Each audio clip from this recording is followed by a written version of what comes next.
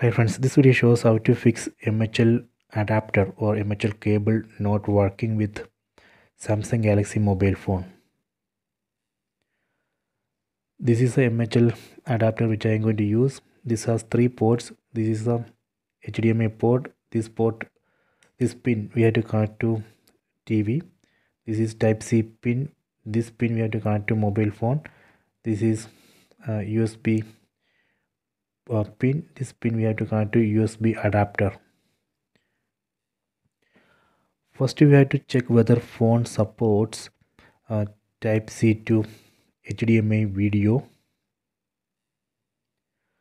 So we can open Google Play Store then search for HDMI alt checker. Then install this app. Check for type C video. I already installed it. Let me open that app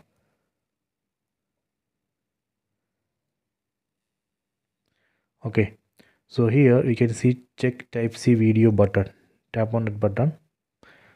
See here this app says your mobile cannot support usb type c video.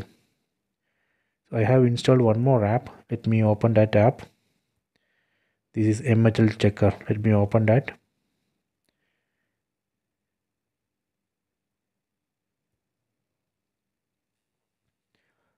see this uh, parser check button. You can tap on that check. See this device uh, don't support mhl connection. So we can use these apps to check whether phone supports hdmi alt mode. So this way we can debug this issue. So we have to use a phone which supports hdmi alt mode.